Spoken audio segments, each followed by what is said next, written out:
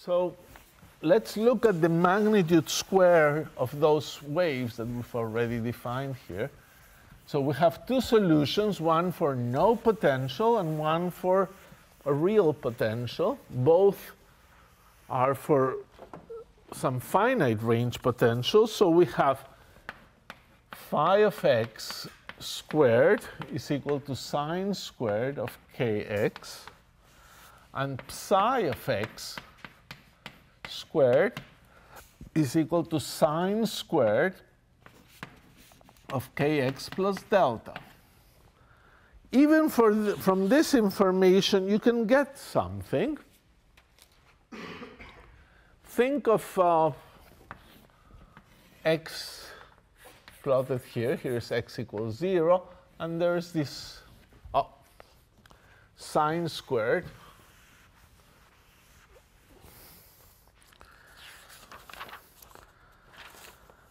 um,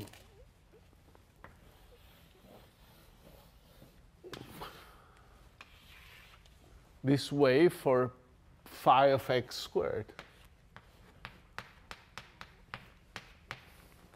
So suppose you're looking at some feature, a maximum, a minimum of, of this function. So suppose the feature happens when the argument kx is equal to some number a0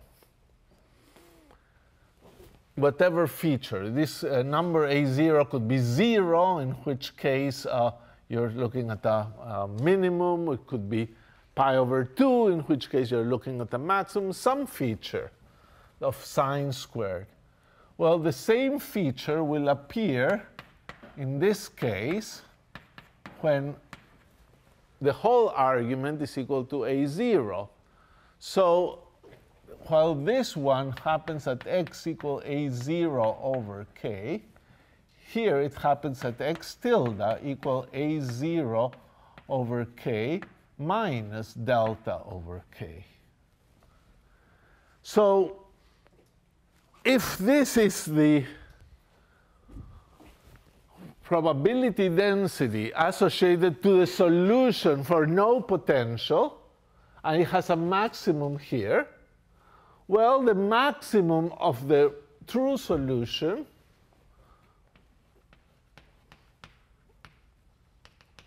say here, would appear at a distance equal to delta over k. Earlier, so this is like the x and this is like the x tilde. That feature would appear delta over k in that direction. So this psi this is psi squared. So we conclude, for example, that when delta is greater than 0, the wave is pulled. You know, delta equals 0, the two shapes are on top of each other. For delta different from 0, the wave function is pulled in. So delta greater than 0, psi is pulled in. So what could we think of this? The potential is attractive, is pulling in the wave function. So, attractive. Delta less than 0, the wave is pushed out would be in the other direction, and the psi is pushed out. Potential is repulsive. So a little bit of information even from the signs of this thing. Uh, we want to define one last thing, and then we'll stop. Um, it's uh, the concept of the scattered wave. What should we call the scattered wave? So we will define the scattered wave wave psi s as the extra piece piece in the solution, the psi solution, that would vanish, vanish without a potential. A potential. So we say you have a psi, but if you didn't have a potential, what part of this psi uh, would survive? So think of writing the psi of x as the solution without the potential plus the extra part, the scattered wave, psi s. So this is the definition.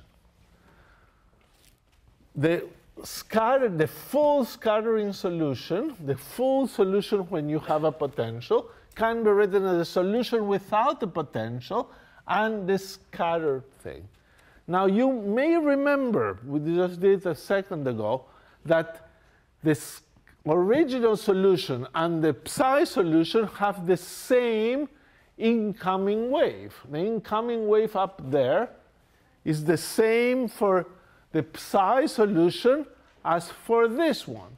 So the incoming waves are the same, so only the outgoing waves are different, and this represents how much more of an outgoing wave you get than from what you would have gotten with psi. So this must be an outgoing wave. Going wave. So we'll just plug in the formula here. Uh, psi s is equal to psi minus phi, and it's equal to 1 over 2i e to the ikx plus 2i delta minus e to the minus ikx minus 1 over 2i, the phi, e to the ikx minus e to the minus ikx. So the incoming waves were the same. Indeed, they cancel, but the outgoing waves are not. You can factor an e to the ikx and you get e to the 2i delta minus 1, which is equal to e to the ikx, e to the i delta times um, sine delta. So there we go. We, we have the answer for the scattered wave it's proportional to sine delta, which is, again, makes sense. If delta is equal zero, there's no scattering. It's a outgoing wave, and uh, all is good. So I'll write it like this. Psi s is equal to as e to the ikx with as equal e to the i delta sine delta.